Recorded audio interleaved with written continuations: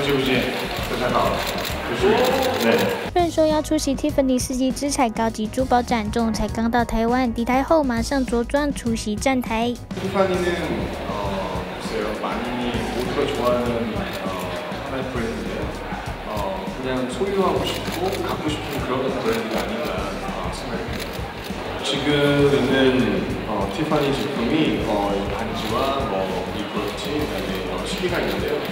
어, 굉장히 심플한 것 같지만 어, 아주 곳곳에 숨은 아름다움이 있다고 생각합니다. 그래서 굉장히 어, 아주 어, 아름답고 어, 좋은 그런 제품들을 생각했습니다.